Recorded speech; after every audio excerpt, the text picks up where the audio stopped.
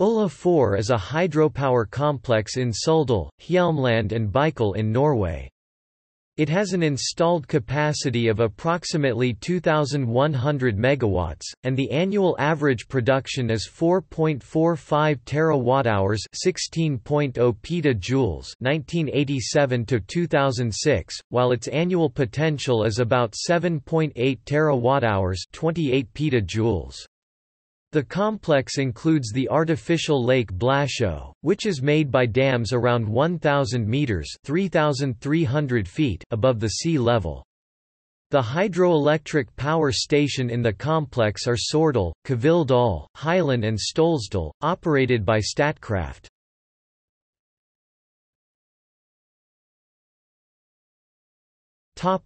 Blåsjø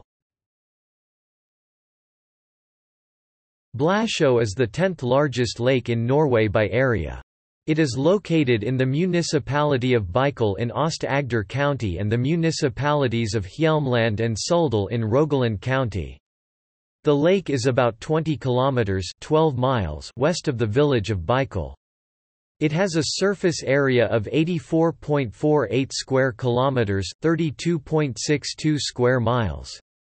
Its surface swings between 930 and 1055 meters, 3051 and 3461 feet above sea level depending on seasonal weather and power consumption, and it has a shoreline of about 200 kilometers, 120 miles.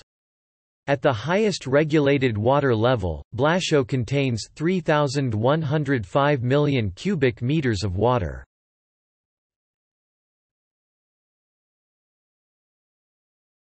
Kvilldal Hydroelectric Power Station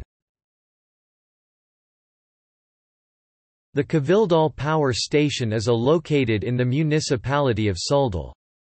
The facility operates at an installed capacity of 1,240 megawatts, making it the largest power station in Norway in terms of capacity.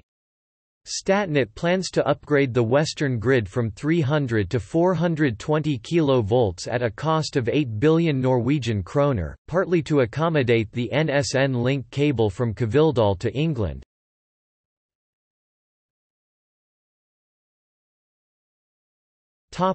Saurdal Hydroelectric Power Station The Saurdal Power Station is a hydroelectric and pumped storage power station located in the municipality of Suldal.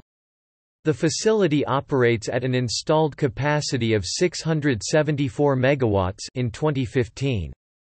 The average energy absorbed by pumps per year is 1189 gigawatt-hours, 4280 terajoules in 2009 to 2012. The average annual production is 1335 gigawatt-hours, 4810 terajoules up to 2012.